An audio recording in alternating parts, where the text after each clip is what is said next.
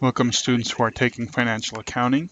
Um, in this series of videos we are looking at the uh, theory videos for chapter 2 analyzing and re recording business transactions.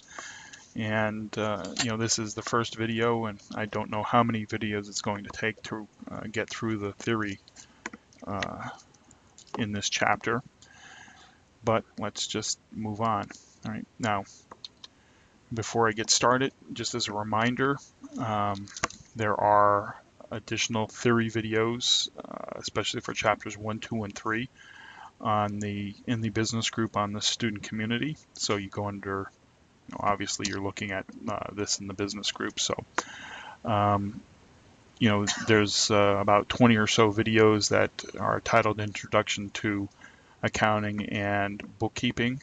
Uh, so they were created as a supplement for a previous edition of the textbook that uh, coincided with a, a graded project that needed to be done. So um, we created that as an introduction, and those videos are uh, additional supplement to you know even the first three chapters in this textbook because let's face it, concepts are concepts.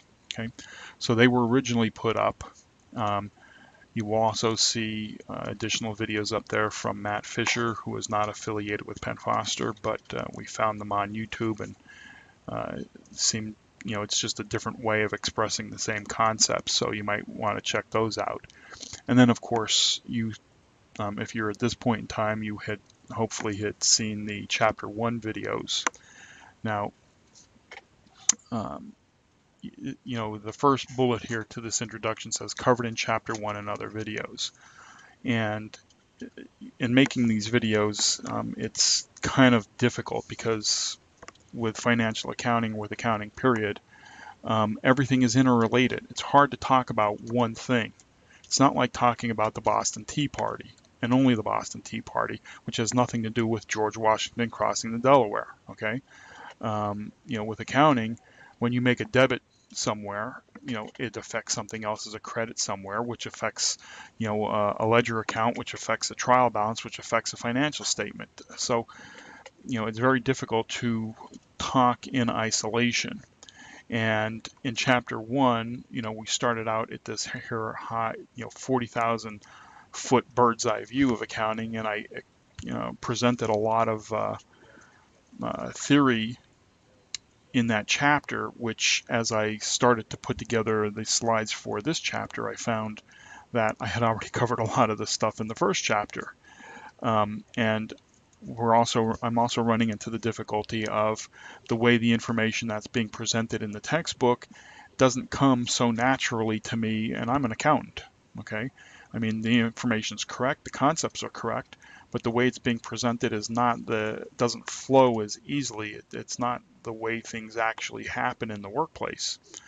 Um, so as I was doing that, and as I move forward, you know, I'm starting to see that, uh, you know, things are, you know, some of the ideas are starting to take a little bit better shape as to you know being usable. I, I, think that first chapter was more about you know how everything is related to the accounting equation and the expanded accounting equation, and you heard my thoughts about the expanded accounting equation there. So um, in these theory videos, um, I again as I go through, you know I'm going to be giving you my insights, my experience, and try to relate it to you know some of this theory. Now it doesn't necessarily mean that you can just skip reading the textbook. You know, you have to read the textbook. That's what uh, you're responsible for. These are just supplemental videos to further explain, expand, upon expand upon, and like I said, give my insights into uh, accounting after doing this for 30 years. So, um, you know, you have to read the book and study it, and you have to do the homework problems in order to be able to get accounting. Um, if not, you know, you're going to struggle with it. And I also advise that when you get to the end of lesson three, you know, you're going to have to do a graded project. And I see an awful lot where uh, students move on and do the next lesson and the next lesson after that and the next lesson after that and take all of those exams and then they want to come back and do the graded project. The problem with that is, is that they've forgotten a lot of the stuff and they end up struggling with it.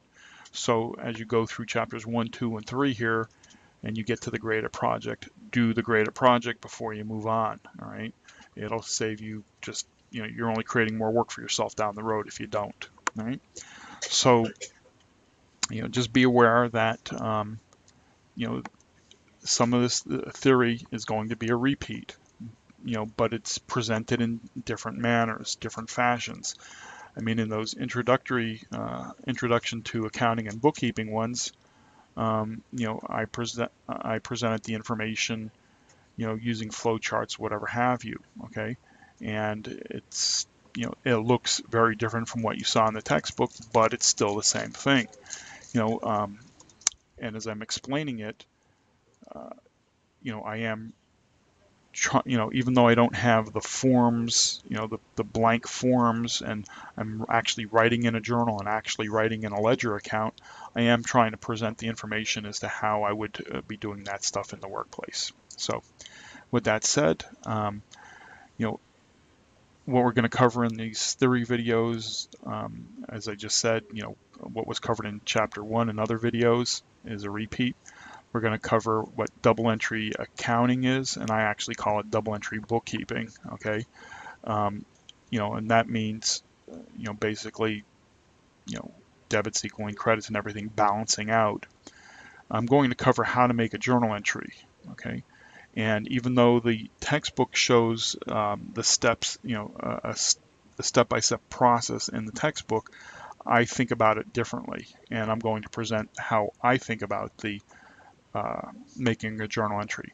I know that I had started covering that in the chapter one theory and also even doing the exercises I was going through my thought process but I'm going to try to make it just a little bit more clear in this series of videos.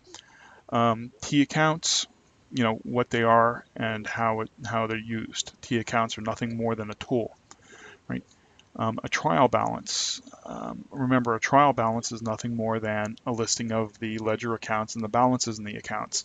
And in chapter one, I kept on alluding to a you know uh, a trial balance because we were presented data that had ledger accounts and balances, and I would allude to what the trial balance looked like. Well, in this chapter here, we're actually going to see what uh, the formatting for a trial balance. And again, uh, financial statements. In chapter one, um, we presented, you know, the financial statements, and I had said what order they come in, and you know, the flow of the information, and why we did what we did.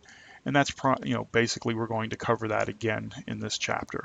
And then the accounting cycle. Um, in the theory videos, the introduction to accounting and, and bookkeeping videos, I cover the accounting cycle. I mean, there's just one slide with a uh, process flow chart on it.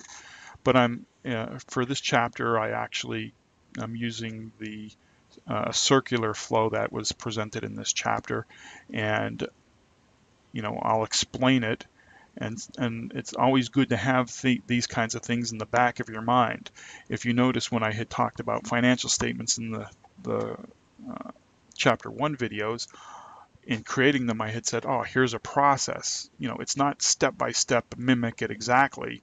It's a here's the way to go about thinking about it in a step by step format. So even though it leads you, all right, as you know, you know where you're at in the process, you know, it takes into account variations and, you know, idiosyncrasies at those points in time.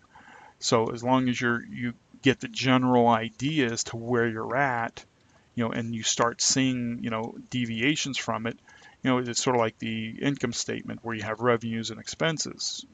You can, you know, that gives you a profit or loss. Well, on the surface, you know, you only need two general ledger accounts. You need a revenue account and an expense account. So why do we have all of the other accounts? You know, you know, uh, service revenue, advertising expense, payroll expense, utility. Why do we have all of these accounts?